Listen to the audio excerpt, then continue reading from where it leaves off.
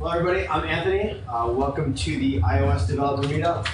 So today we have a cool list of show and tell presentations. Uh, I think it's going to be really cool to see what everybody in the community is working on. We got a good lineup of different startups, apps, tutorials, cool stuff that uh, people are going to talk about.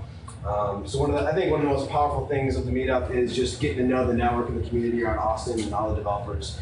Um, so I'm excited to see what everyone's working on.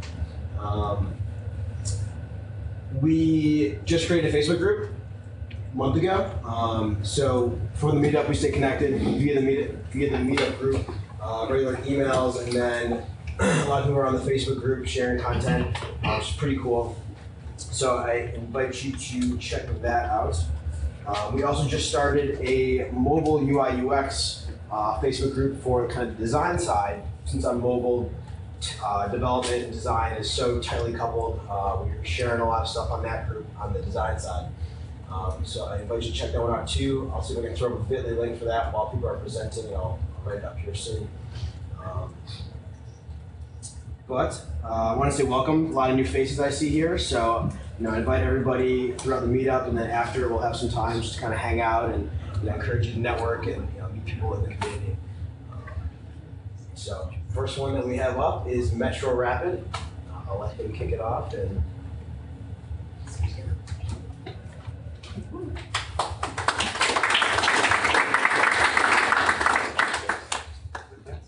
How's everybody doing? Good. Good. Um, so I just wanted to talk quickly about Metro Rapid. Um, it's an app for the Metro Rapid bus, the 801 route mainly. Uh, basically made it by uh, reversing, reverse engineering their app, I guess. Um, this is me uh, on GitHub. You can find the project there. It's all open source. Um, and this is what it looks like. Basically, the, the, the way you use it is you open it, it finds the stop closest to you, you click that stop, and it figures out the times and exactly shows you exactly where the bus is relative to you. Um, so uh, the, the way the way uh, I, I went about uh, figuring out their API and how their app works uh, is basically just uh, you, could you could either use something like Cycript, which lets you take apart a running app, um, or you can. In, this case, their app is actually a web page, so I just uh, looked at the request that web page made and copied that. But uh, if I were to, so, uh, hypothetically speaking, wanted to know what their bus passes are represented as, that QR code thing, you know, how it stores it internally and how I can replicate them. Um, this is how you would hypothetically go about it. Um, so Cycript is a tool. You need to be jailbroken to use it. Um, the way it works is you connect your phone to the same network as your laptop. Um, open the app, SSH into the phone, attach to a running process, and then you know just run commands inside of the app as it's running, and just pwn it basically. So uh, to get started, you SSH, uh, just showing that we're inside the phone. Um, find the open open the app obviously and find the PID of the app you want to attach to. Um, so in this case, I want to open the Cap Metro Transit Authority app. Then we use Cycript to attach that process, which is uh, the same number from here, uh, and start running commands in it. It's it's literally just a shell you can run things run things in. So uh, this command, uh, I'm sure you're familiar with what it does. Just animates hiding and showing the status bar. Um, uh, so uh, if we if we delve further into the app, we can find the app delegate, find the window, find the root view controller, which if you notice is CMTA root view controller. I don't know if you can see that in the back, but Cap Metro Transit Authority root view controller. So now we're inside of their code, and we can interact with it. So we find this side navigation controller. If you use the app, it uses this side navigation thing, so it slides around and stuff. Um, we find the passes view. I actually, at this point, I actually opened the uh, the active passes view.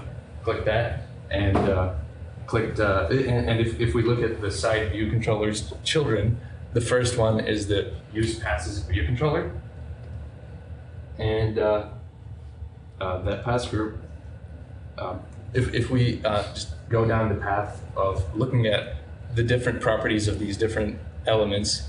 Uh, we go down the activation queue, active passes, etc., and eventually find the VM pass group. VM is a uh, Bytemark, the company that Cap Metro outsourced their app to. Um, and uh, that is not meant to be there, but if we, if, uh, uh, the way you use Cycript is you, is you just put asterisk or whatever front of the command and it'll show you the properties inside of it. So if I do, when I do that star around that, I get the representation of what a pass is. So if you see there's the expir- expiration date, the encrypted payload, uh, the device it's locked to, all sorts of cool and interesting things. Had you been interested in hypothetically using them. Um, so, uh, but that wasn't how I made the, the Cap Metro app. Um, there's actually an easier way to do that for the Metro app. Um, turns out that some parts of their app look super crappy, and some parts of their app work awesome. You know, uh, which means that some parts are probably web views. so, I uh, noticing that I copied that phrase, enter an address, went to Google, typed in site capmetro.org, enter an address, put that in quotation marks, and lo and behold, look at the second result. So we go to this web page, and let's actually do this right now and try out those requests. So uh, here I am at capmetro.org slash info. I open the Chrome Developer Tools, um, if you're using a Mac, which I'm assuming you would being here. Uh, Command Option I, and uh, let's go ahead and type things into this. So we want to catch a bus from Republic Square Park. Go. Yeah. This is why I made my app. The, the thing is horrible. Find the one with the 801 route, click that. And if you notice over here, this one, this request, this it's a post request and it's to s underscore next bus two dot asp. And we can see the response. It contains a list of the next three times. And we can actually craft that response and get back data. But uh, if, there's actually another bug inside of their API. Um, if where we can make that same request and uh, get back XML with the actual vehicle positions. So right now it's just JSON, and if I change that that opt parameter from a number to lol or something like that, now it's XML, and there's actual latitude and longitude and vehicle positions. So this one is zero because it's not real time. Uh, Probably see it better. Yeah. So yeah, that is how the app works. Um, So that's an undocumented API. yes, it's extremely undocumented. you, have to, you have to go find security holes in their API. So the way it's actually structured is there's a good solid API out there. That's that XML part. Except I don't know the IP address. I don't know how to reach it, um, etc. That the, the reason is that API is being talked to by some ASP.NET server, uh, which takes the XML and turns it into like the next three times in JSON and returns only that. So found an ASP bug and exploit that, get to the real API. so um, at Ordoro, uh, this is kind of the stuff we do. We do a lot of stuff with web requests, etc. Um, uh, if you're a Python or Java, JavaScript developer and looking for a fun job, we're hiring. And uh, any questions? So basically, you're hacking into their API and you can pretty much use their API. Is that kind of Um, in a way, I I wouldn't say hacking into their API. I guess it's just using their public API, the, the API that should be public. But do they say that their API is public? They don't even know if it exists, to be honest. The, the JSON API is public, though, right? Yes, their JSON API is public, um, but I mean, I don't think they really know what they're doing, to be honest. Right. And, and you're getting XML back through their JSON API by exploiting it, right? Exactly. Okay. Uh, any other questions? How many people here are jailbroken? One person? Two. Nice. Sweet. You guys should jailbreak. All right. Thank you.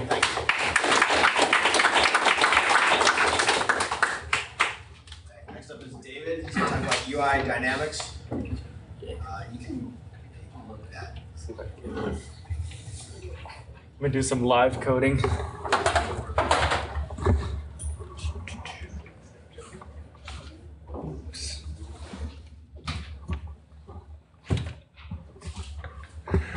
That seems dangerous.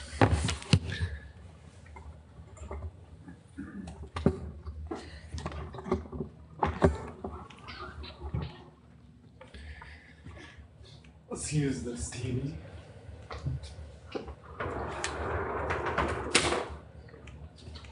See that? Cool.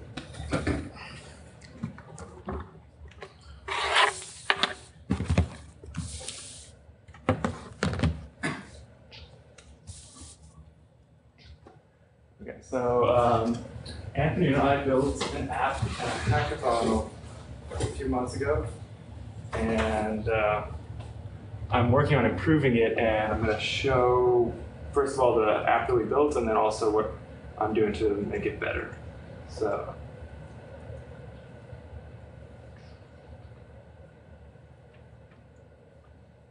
So here is the app that we built at a hackathon.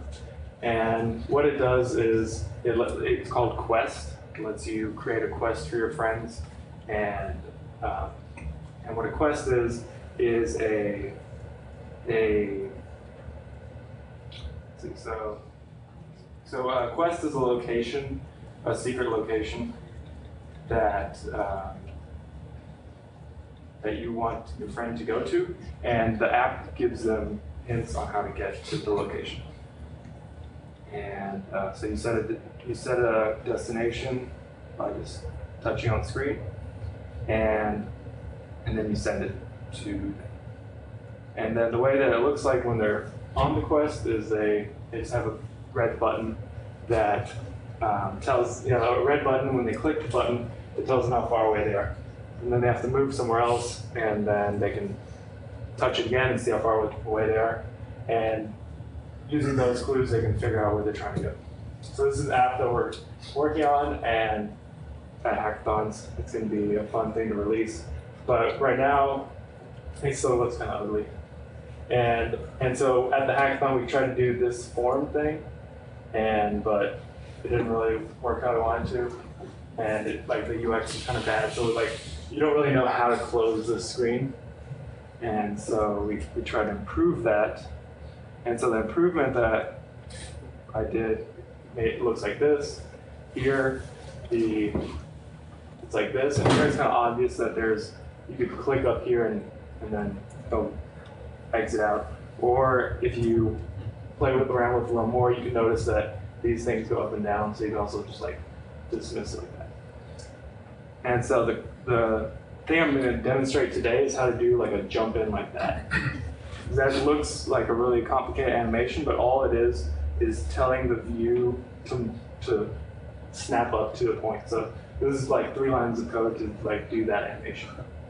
And so I'm to show, I'm to do a live coding of how to do that from a brand new project.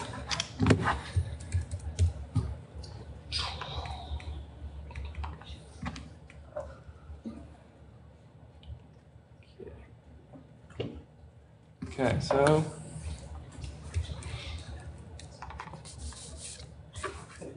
Okay, so we're gonna do a new project. Um, and so this is gonna be a login form app. All you do in this app is login. So let's make it so you can see. Okay, so uh, we created this brand new project, and here we get a blank view. And so in this app, we're going to make a login screen that does some some animations and jumping around. And so we're going to need a we're going to need two labels, or no, not two labels, two uh, fields. or text fields. There we go.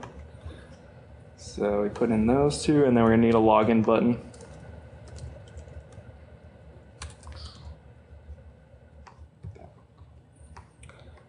So place those.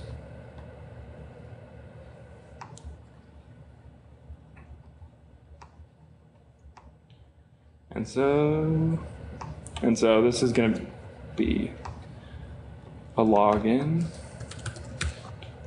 Okay, cool. And then sets and properties. This is username. That's password. Okay. Cool. So then uh, you have to link up this stuff to the view controller. So that's using the assistant editor. Drag over.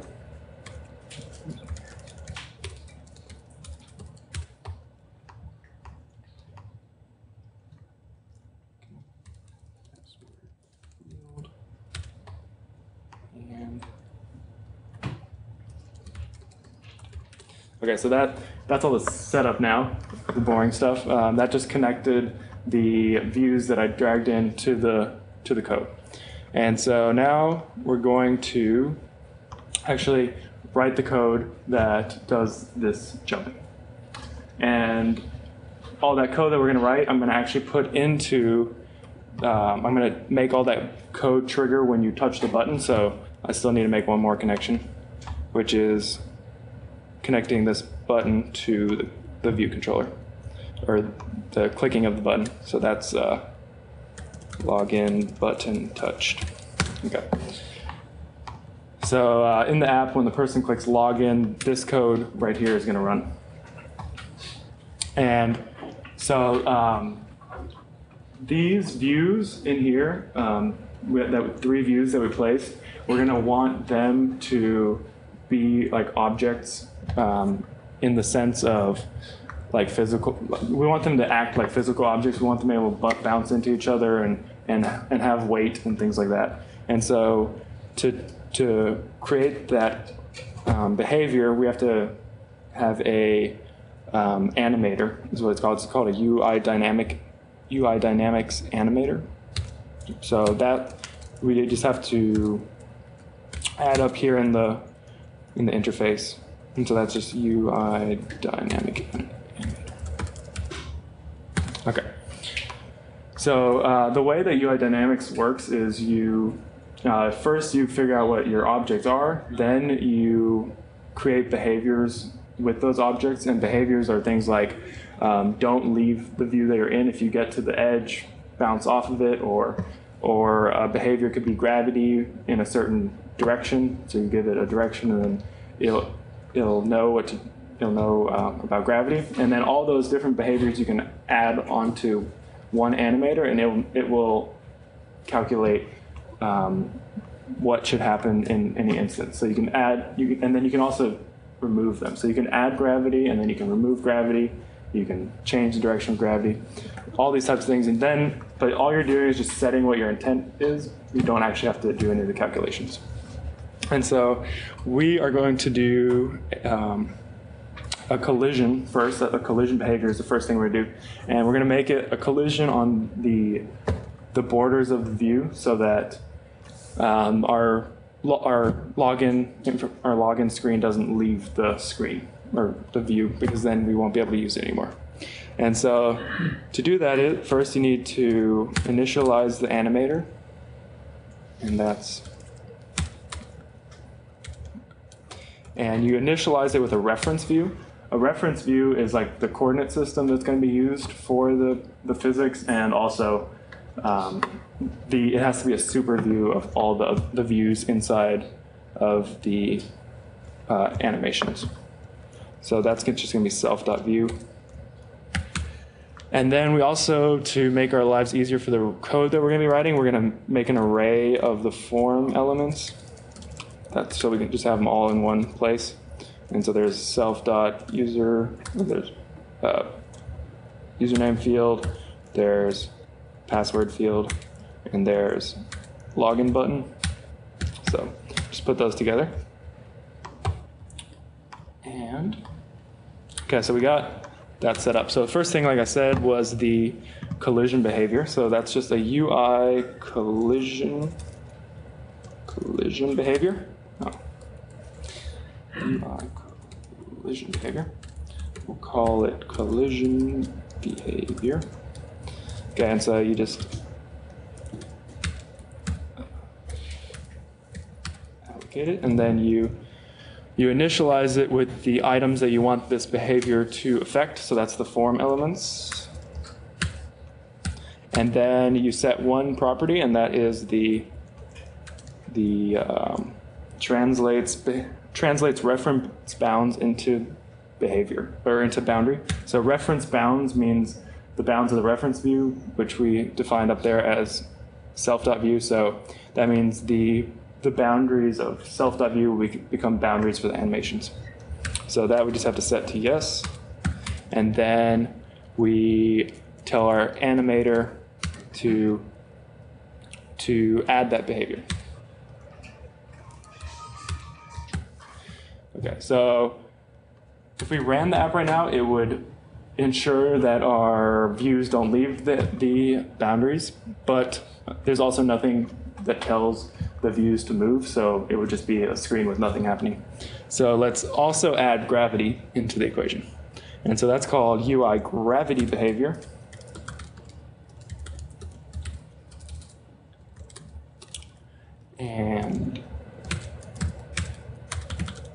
And that's also so same pro- same process. You allocate it and initialize it with the form elements, and then you you have to set a direction for your gravity.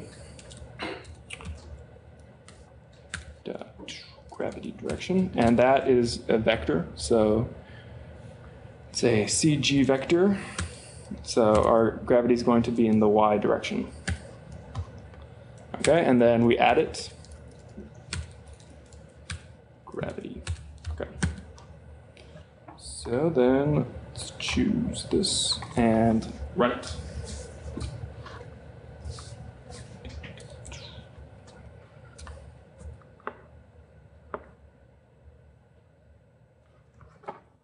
And there we go.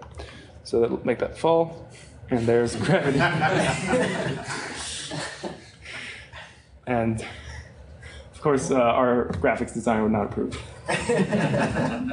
so let's put in a pretty background image. Okay, so.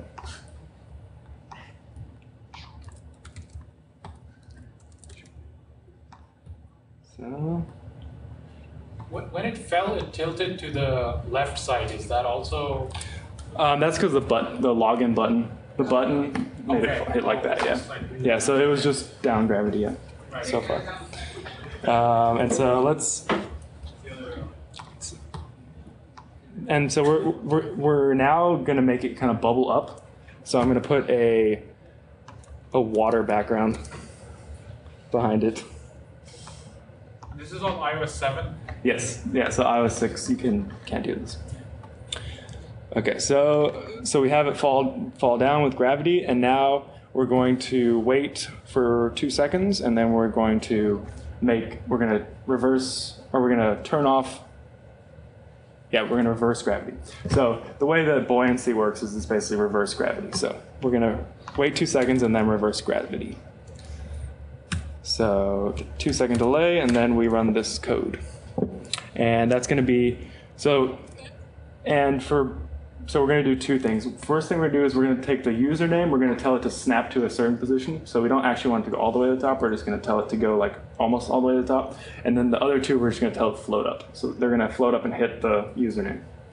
So the way that you do that is, um, so the, the first, the snapping up to position is called a snap behavior. And, uh, and that one you allocate and you initialize with an item. So the self.user field, we're going to tell to snap to a point, and that point is 140, 100. And then we're going to put dampening, damping in there to uh,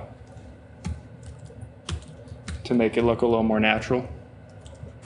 So that's damping. And then uh, we're going to uh, tell our animator to, to add that behavior, the, the uh, snap behavior. And then we're going to tell it to remove behavior of gravity behavior. So that will make that will get added on. So we have that falling down, and then username pops up. Okay, so so let's make uh, gravity now reverse for the other two. And so that's going to be UI gravity behavior called gravity behavior. And it's going to. The cool thing is, once you understand one of these, they all make sense. So, init with items, and this is going to be form elements. Okay, and then gravity behavior dot gravity direction CG vector. And so this one's going to be negative one. And so we add that behavior, gravity behavior, and we run that. And so fall down, two seconds, pops up, flies back up. You can log in again. There you go. And that's uh, that's how UI Dynamics works. What the sort of? Um, so there's Gravity, there's this. there's also you can do um, friction between, uh, which gets interesting when you have collection views. You can have them like slide over and then like fall on to each other, and um, and and so there's uh, if you just look in the UI Dynamics reference, they have a list of all of them, but um, you have to be careful with them that they don't get too annoying. So. Because just because it's fun to program doesn't mean it's a good product.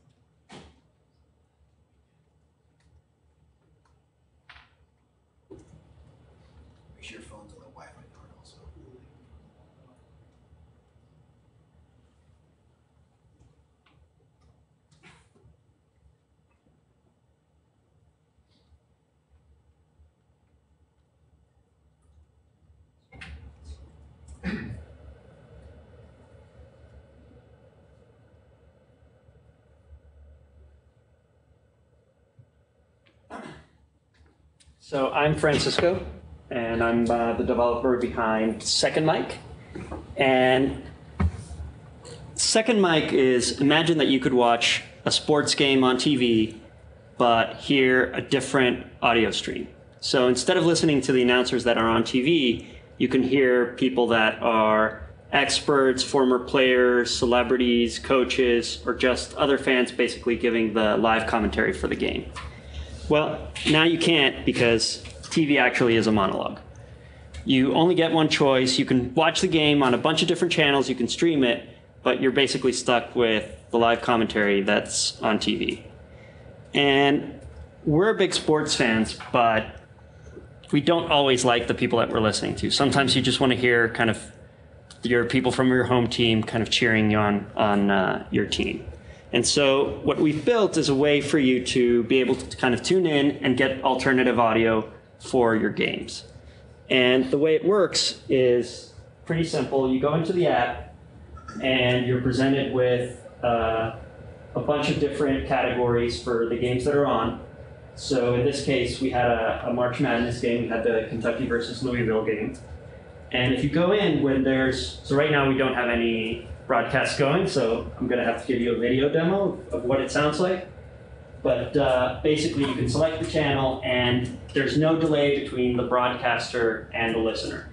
So really, as you're watching, you're hearing the audio for, for that event. And if, uh, if you want to broadcast, then it's equally simple. You have the ability to, with one click, you can basically become a broadcaster and start your own thing, and then other people can come in and listen.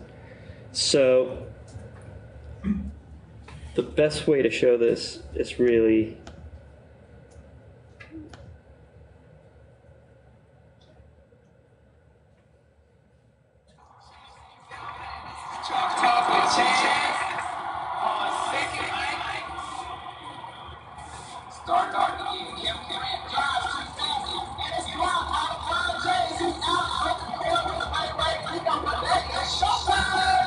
So the audio actually is better in the real video.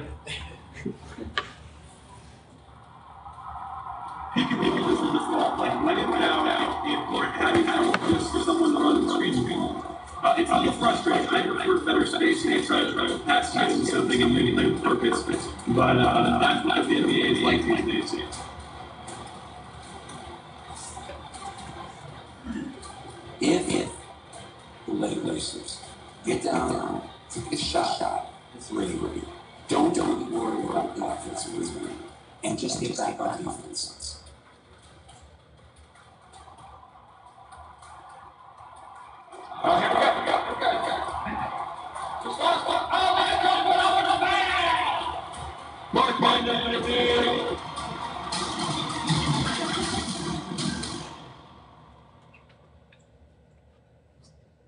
So the audio there should have been much better, but um, that's basically it. I'm happy to answer any questions.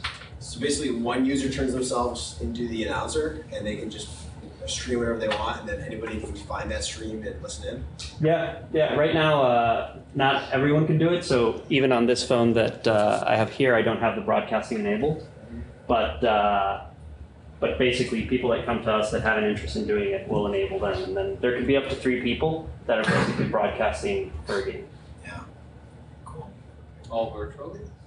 Yeah, they can be in different places. So three devices, let's say.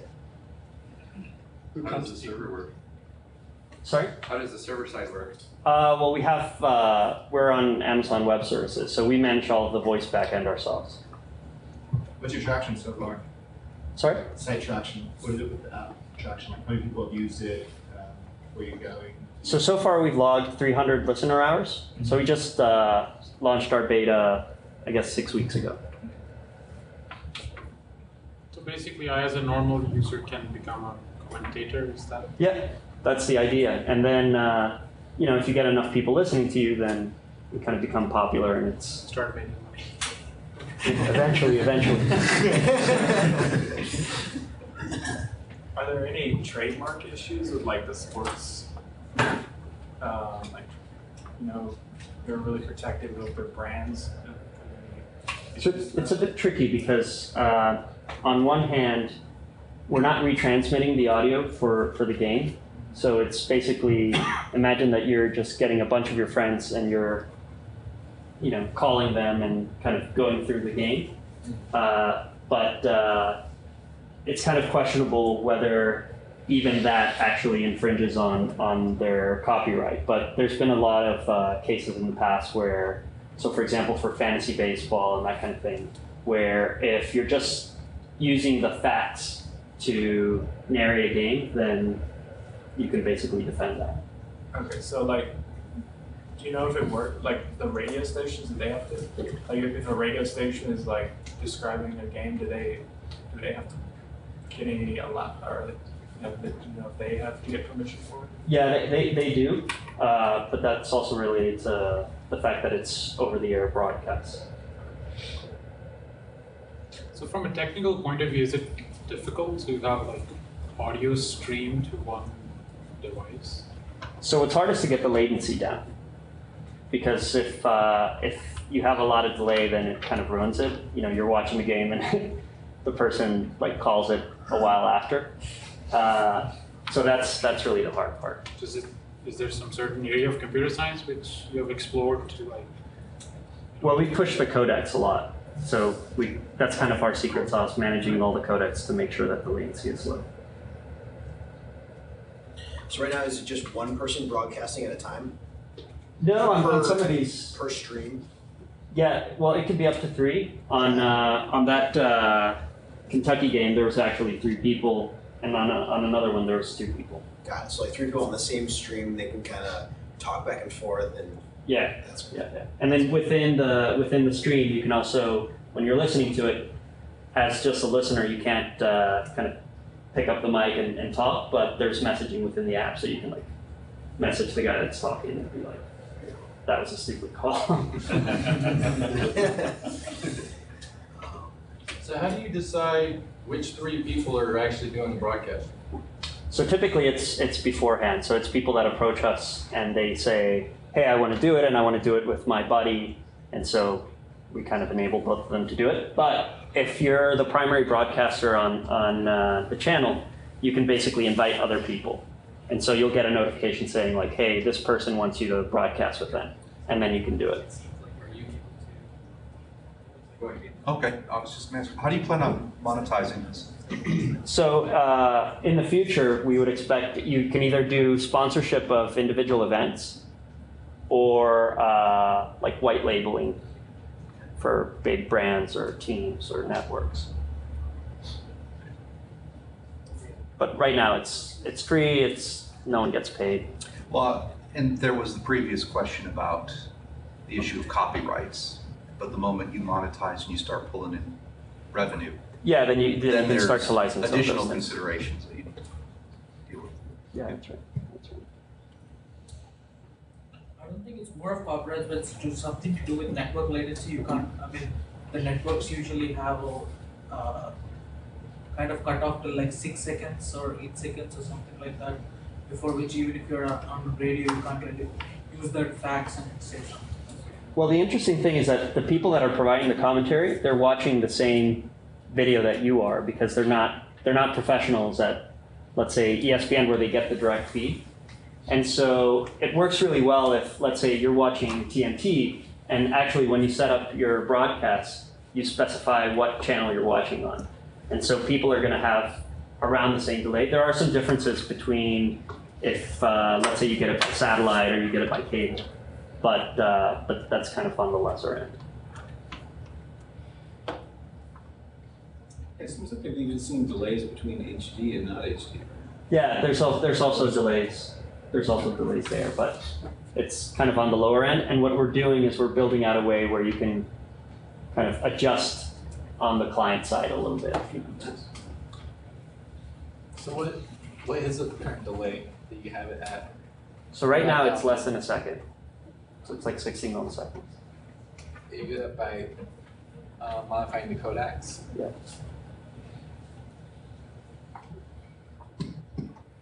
What's your team look like? Uh, it's four of us. Have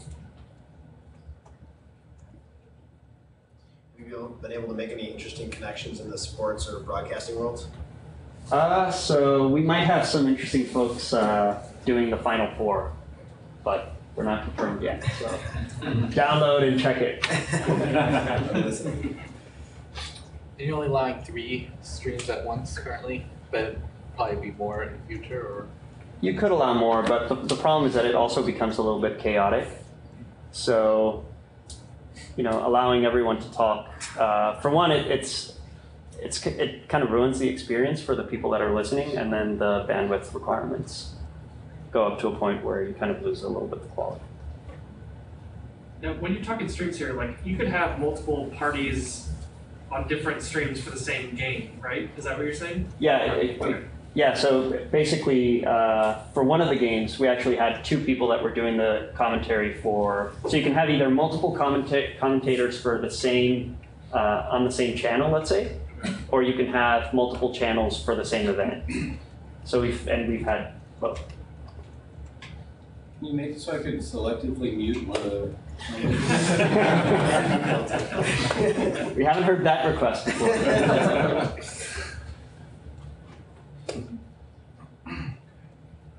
Great.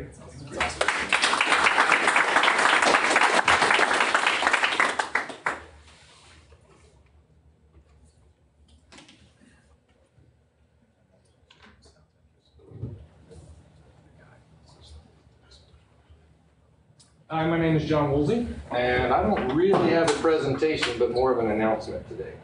Uh, Media Tech Institute, which is uh, well known for jumpstarting people's careers in the music and film business, is starting a new mobile applications development web services program at their Austin campus.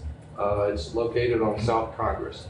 So uh, the program is a 45-week program in semesters of 15 weeks each and they are teaching uh, students how to uh, develop uh, both Android apps and iOS apps.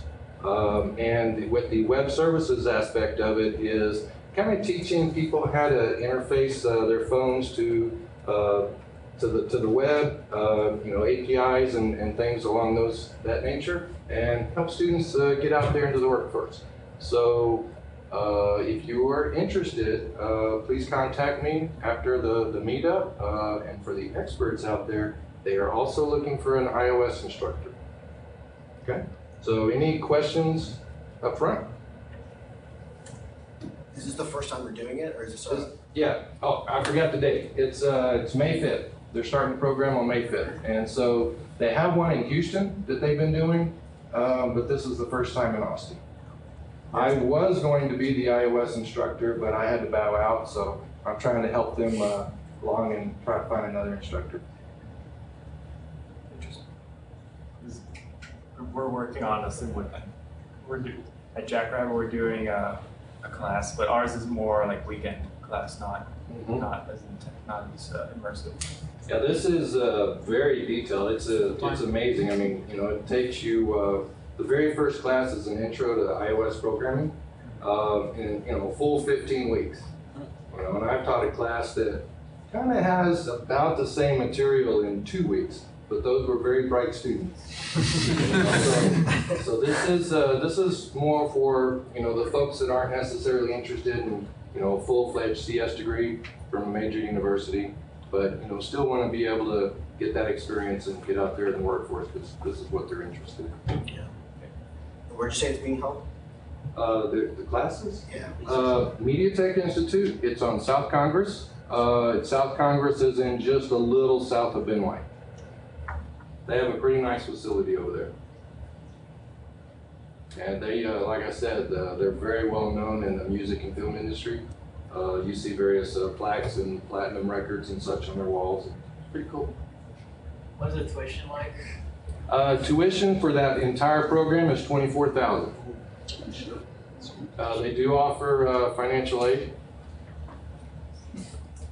But, you know, there's a, it's kind of hard to really get in and, and understand the basics for, for some of these things. And, you know, a lot of people come to these types of meetups and just try to glean whatever they can and, you know, get all glossy-eyed because, you know, things get over their head and, you know, this goes to the basics.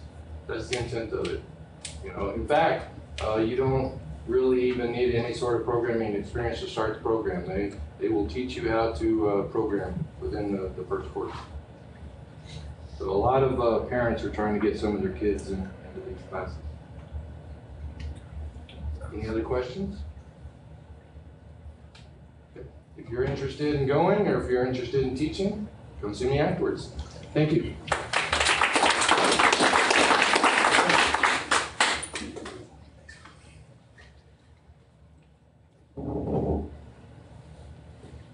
Hey, so hello everyone. I'm Mike.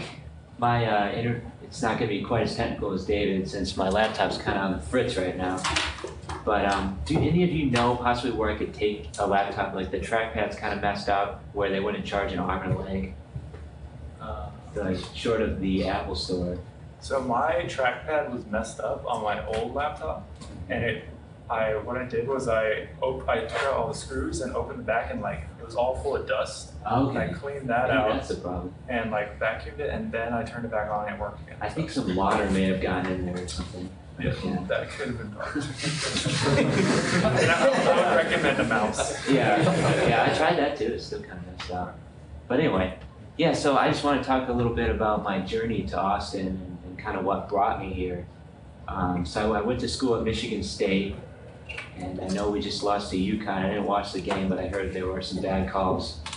Uh, but then after that, I decided, you know, I considered dropping out of college a bunch of times just because the classes didn't interest me so much. But I stuck to it, which taught me persistence.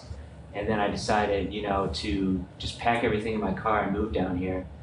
And I mean, I've been happy so far. I just interviewed at Apple out in Cupertino.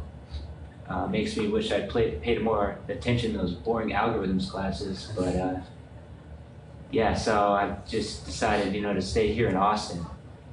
And um, kind of, this is where Do 512 came in into play and just finding my own clients doing a lot of freelance work and uh, Dude My Car as well, which is my main startup. And the idea for that mostly came from I just I was new in Austin. I was looking around for my uh, trying to find my way around town, and I thought you know there should be an app for this. So I, it's such a simple concept. I looked on the app store and just figured yeah, I can I can improve on this easily. So that's what I did. It's being used you know all over the world right now. About thirty thousand users. Um, and then this Do 512 app, which I'm sure many of you for, are familiar with the website, helps you find concerts, you know, fun things to do in Austin. They're in about nine cities right now. Um, so I found uh, a friend introduced me to the founder, and I decided, you know, I can. I tried to have it up there before South by Southwest, but it just didn't happen. Um, but um, yeah, I'd like to demo it real quick if I can I'm not seeing the uh, AirPlay on my phone. I'm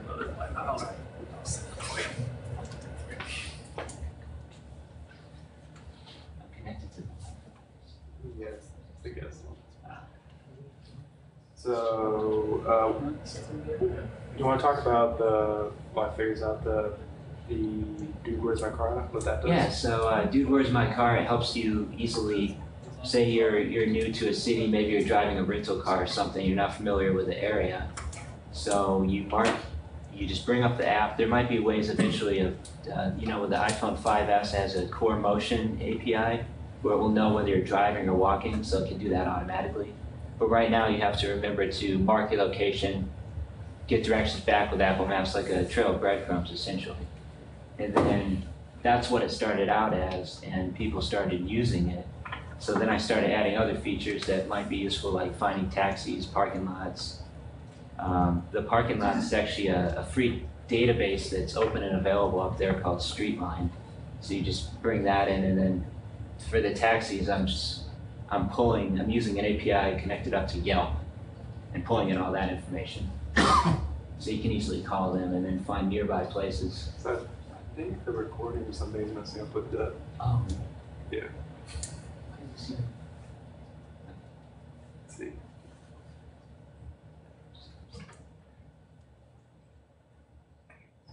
Ah, there we go. That's interesting so that's the. left. There we go. Cool. Um, so yeah, the this is Dude, Where's My Car? Just to start out. And you know, it's, it's undergone some recent UI improvements. Uh, so it has a slide out menu now with all of the, the options here. And after the, this is to, it's an in-app purchase, after they use each of the features three times, I want to get them using it and at least so that they can test it out. And then it will say, uh, you know, you gotta pay ninety-nine cents to keep using it. So I actually can't demo these features right now. Uh,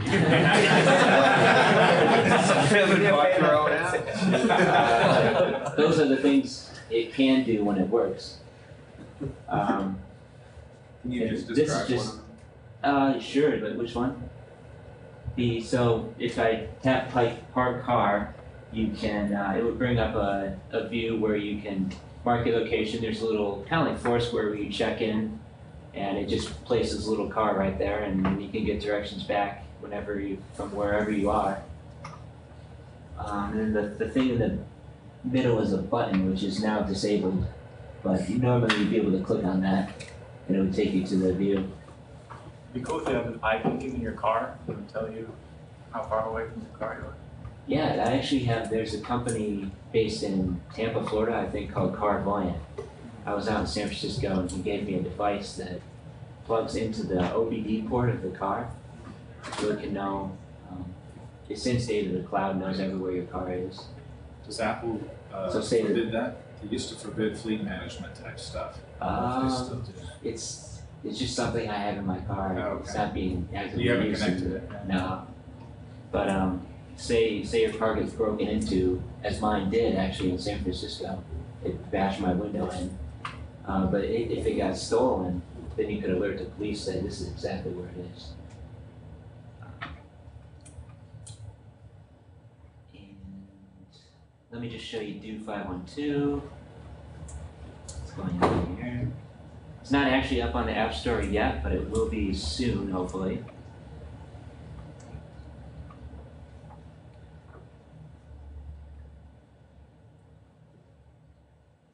So it's just pulling from the JSON.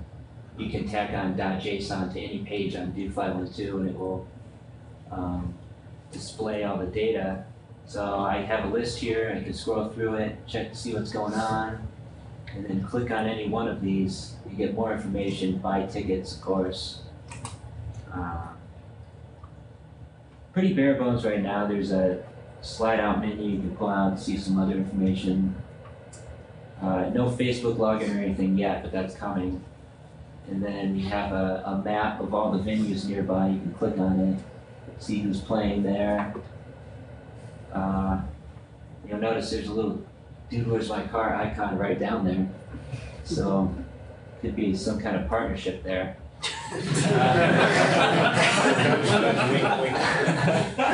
and then here, um, here's the venues as well. So you can scroll through pretty pretty basic stuff. You can you know look at all the artists. I would have liked to have had the oops. Wasn't supposed to happen. Needs some more bug testing.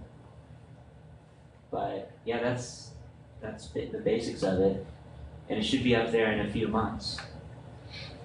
When you hit buy tickets, where does it take you It will just take you to a web view inside the app. Right there. You can easily just buy right inside the app. What's your backend?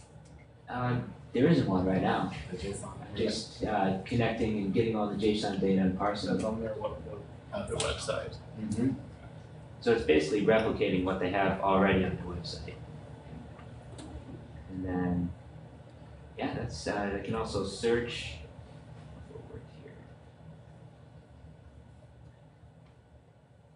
Search will bring up all the, the venues where Stomp is playing.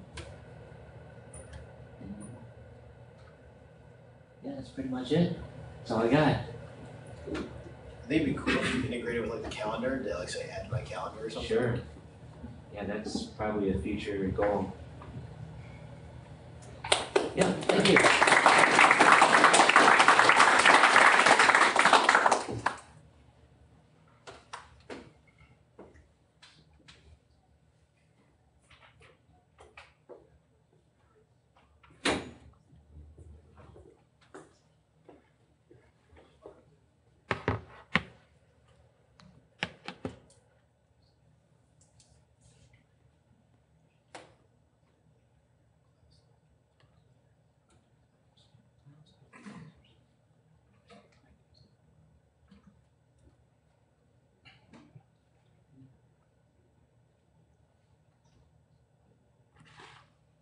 All right, very good.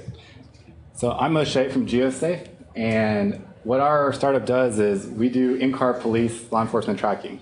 So that's a police car right there with an iPad mounted in the cabin. Uh, at the bottom there, they have the lights and sirens and that kind of fun stuff. But uh, let me just show you the app. So I'll switch over to that. Does that come up? Okay, good. So what we're looking at is live 911 call information in Oklahoma. Uh, let me zoom out a little bit and we'll take a look at some of these calls. If I click on one of these pins, you can see the, uh, the type of call that is. So since it has a shield, it is a police call. And this one with the flame is a firefighting call. If I tap on that call, I can read all the information about that call, where it's at, uh, what time it came in, and all the dispatcher notes. So whenever you're on the phone with the dispatcher at 911, they're typing up all this information. So we can see someone fell off the top of a truck, 43 year old male, and so on and so on. I can see that there's one unit there, and they uh, were dispatched at 7:20 and got there on scene at 7:30, and then got to the hospital around 8 o'clock. This is a public. This is obviously not. so this app is for law enforcement, uh, firefighting, and EMS use only. Where do you get this information? They have their own. I'll, I'll get to that in a second. So each one of these circles is the location of a police car. So that's a Midwest City uh, police officer. I can go down to more. We can see uh, there's more police. There's a more firefighter. If I keep zooming in, we can see there's engine three and brush pumper three. If I switch over to satellite mode, we can see that they're parked out in front of the, uh, the fire station. These little red dots are uh, the hydrants. Say that again? Is that red, like, This is happening right now. Oh, wow. This is live. So this is not public information, obviously. This is internal, but they allow me to demo it for these purposes. Uh, if I keep zooming out, without tilting that, we can go see what's going on in Norman. I know that's not very popular here in Austin. Uh, here's the OU campus police, as well as the Norman Police Department. So all these agencies, they have their own 911 call systems, but since they all use GeoSafe, we're able to bridge that information together. And this is what they use to coordinate their activities. So when there's a large scale, uh, let's say tornado like there was in Moore, you could actually see all these uh, units coming in and pouring into the city more to help out with search and, uh, search and rescue. So on the left-hand side, we see a bunch of calls, and they're also separated by the cities. So let's take a look at a Norman police call. Here's a fire, electrical fire. And again, you can see some arcing. Let's see what else we got. Trespassing. So you can see the person who called 911 as well as uh, the dispatcher notes. What's the existing alternative?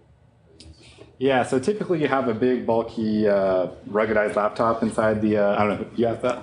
Uh, inside the laptop, inside the car. So they're switching out to iPads just because they're less expensive. iPad's about $500, $600. A uh, Panasonic Toughbook is about $5,000. So it's a pretty big savings for uh, the agency. Is the map data all just Apple Maps? Yeah, so the uh, the base map is Apple Maps, but the uh, positioning of the calls comes from their 911 call center system. So even if the street is not on there, it'll still uh, be placed in the correct And, spot. and the satellite view as well? Satellite. It's just just like on uh, Apple Maps. Okay. Mm. Yeah. Have you run into any memory issues with displaying that many annotations? Um, a little bit on, on iPad 2. It can be difficult. We actually don't do any clustering yet. Hasn't been that much of an issue, but I have noticed it if you're not careful. Yeah. Did you create this entire thing on your own? Yes. Awesome. Yeah, so I started this company about four years ago while I was in grad school, and now I'm trying to hire iOS developers so that I can sleep. uh, so there was a question about the data. Someone asked me about that. You did. So I integrate with each of the uh, call centers in each city. I have a little Windows uh, service that's pulling from their database and pushing it out to the cloud. How does the new data come into the app? Yeah, uh, so it's basically polling. I created this backend API, this internal API. It's downloading new JSON every 10 to 15 seconds. I saw a red dot just pop up on the map. Yeah, so maybe Oh, uh, somebody uh, logged in or they lost connection temporarily and came back on. Uh, the colors indicate their status. So red means the officer is busy, green means they're available, blue means they're on the way to something. So the police or fire have some kind of transmitter that's constantly sending their location to their 911 service? Yeah, they have an iPad in their car, and So that's the iPad it's that's the iPad as well? itself. Yep. There's also a version for iOS or for iPhone, and uh, I'll switch that on right now. So what is the police currently using? Uh, software. yeah, they use both iPad and iPhone. Is this left? I think it's. So, for instance, the campus police, since they're usually not in their cars when they're walking around OU, they just pull out their iPhone. So they get all the same type of information. You can go switch to the map, see the same type of data.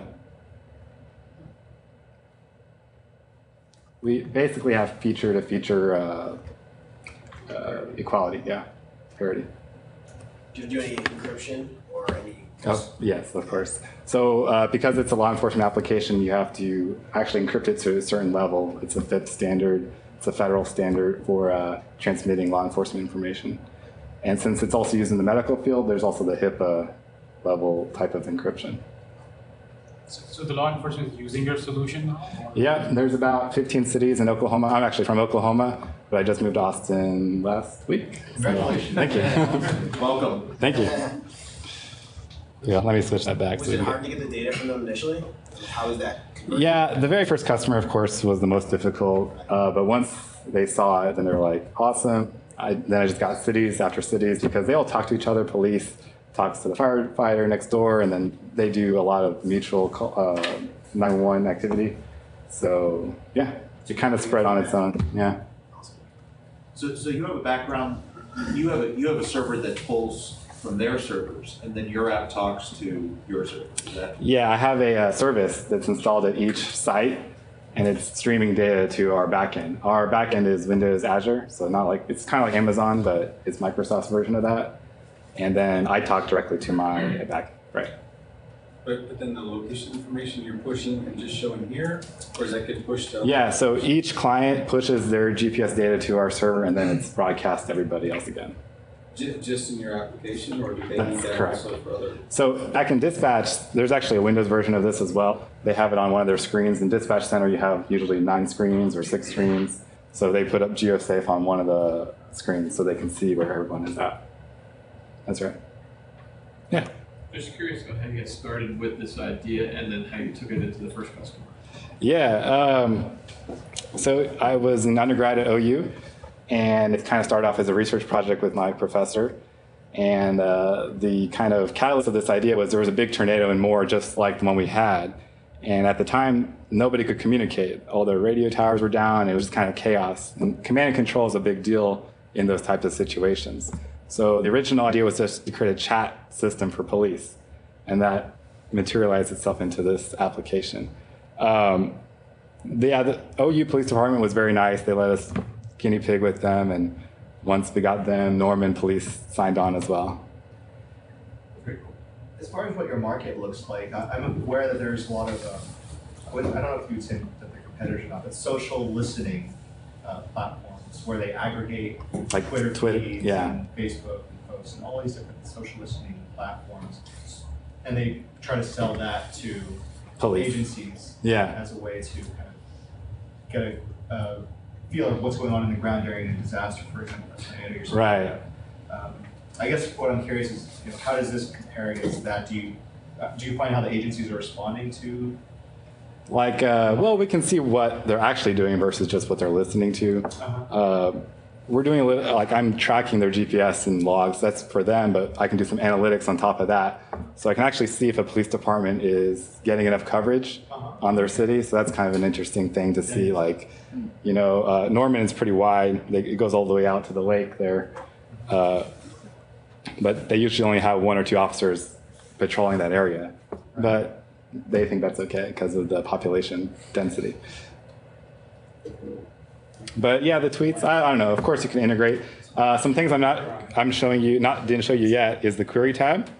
Because I think you could integrate that. Very well. Yeah. Quite easy. And then we make yours more superior. Sure. Yeah, third-party data sources are really easy to add to the Yeah. system. Uh, here, I'm actually going to do a query for you guys. Hopefully, this will uh, come back. This data that I'm going to show you is actually public, so don't worry. Uh, so whenever you get pulled over, the officer uh, looks up your name or your license, and uh, here we're getting a couple hits from three different data sources. So it could be an additional data source like Twitter. Here we're looking at the Oklahoma Department of Corrections and the Sheriff's Office. We're looking for warrants to see if we need to arrest you whenever we pull you over. Uh, here's Barbie Smith. So that's a beautiful mugshot. And uh, this is actually someone who's already in, in jail. So we can see um, she was in possession of a controlled substance, conviction 2008, and she's actually already out 2010. So yeah, we're building these tools for them based on their feedback, and it's uh, it's exciting. Yeah. Go ahead. How, how do you handle indoor, Inside. inside, uh, like for example, OU is a big part, so obviously a lot of, lot of Yeah, um, they're usually not inside. They're in their cars or on a bicycle. So they usually leave the iPad or iPad Mini in the uh, in the case of the bike. So they're they're not actually going inside the buildings with their equipment. So what kind of MDM, I guess, do you have? The process if someone took one? Yeah, so each agency actually manages their own devices. So they have their own MDMs. Uh, different agencies use different vendors. We have a couple of things on the back end too, where we can disable a device so it just won't work, or we can disable a user as well. So there's multiple levels of uh, security. Yeah. uh, why Apple Maps, why not Netflix, which has better quality? Uh, cheapness. uh, really, um, it has the worldwide coverage. That was just the best. I didn't have to worry about it. Um I looked at the Mapbox API. I like it a lot because it allows me to change the colors. Nighttime driving is a issue. Uh, it's really bright in the cabin.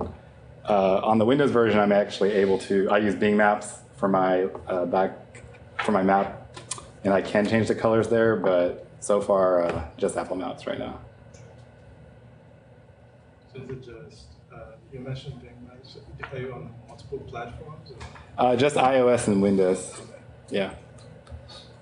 What sort of, um, if any, um, technical or algorithm knowledge is needed to, you know, aggregate these sort of, um, you know, positioning data? Yeah, um, it's not that technical as far as uh, algorithms go. Uh, it's a lot of polling. We're, uh, it's the most reliable thing because the network, especially when you're driving, kind of just cuts out. So it doesn't make sense to have a WebSocket connection or anything like that. We're just, it's like a JSON API. Every time you ask for a new request, Right, but, but like your devices are Mhm. giving positioning, uh, location again and again, so it's, I guess they're always connected to the car charging or something. That's it's true. Kind of intensive on the battery, right? Yeah. Uh, so when I submitted this app to Apple, they even though it's a private app, it still had to go through the approval process, and that's something they made me add to the description that it can uh, kill your battery. But you're right; it's always plugged in directly into the vehicle's power. I wouldn't say anyway. Not that I know of. We need to get some counties on board in New Orleans for the next Hurricane Katrina. Yeah, Hopefully that- not anytime soon. I'm uh, in two weeks, or actually no, on Sunday I'm going down to Galveston for my first trade show here in Texas. So hopefully I'll start getting some Texas customers, and then I can hire some iOS devs. That'd be good. What does your team look like? Uh, it's just me. Yeah. Cool. You're doing sales, marketing. Yeah. Windows, Yeah. Windows. Windows, I do it all. Support. Yeah, uh, I've been avoiding Android because of that issue. Uh, I get a lot of requests for Android, and I'm just I don't want to mess with it until I get somebody else. Question? Yeah. Were you at WWDC last year? I was. Yeah. I remember this, uh, uh, were, I was right behind you with, uh, Ah. For the meeting. Yeah, yeah, yeah. Oh, okay, cool. I'm gonna try to go again this year. Yeah, I will. Any other questions? So do you have a business model in place now, or is it still like? Yeah, I mean we're I mean I'm profitable, I guess. uh, I sell on a flat rate basis, so every city pays like a subscription fee, kind of like Netflix. Every year they just re up if they want to continue to use it. uh, it's been kind of nice since there's now 10, 12 cities using it. Nobody wants to leave because then they get they're not in the network, so they kind of bully each other to stay in.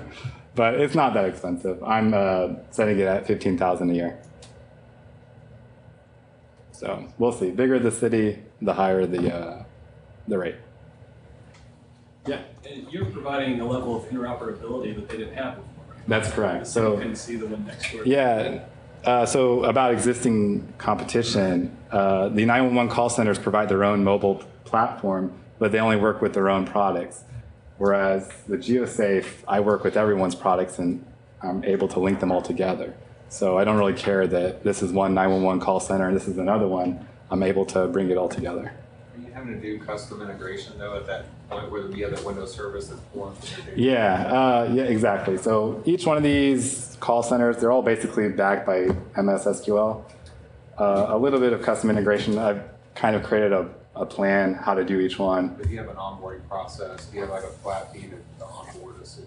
Yeah, so the way I do that is I give them a free trial for three or four months, and that gives me the time to make that interface. And they think they're getting something free out of it, but I'm also not having this fire of, hey, make it work, make it work, make it work.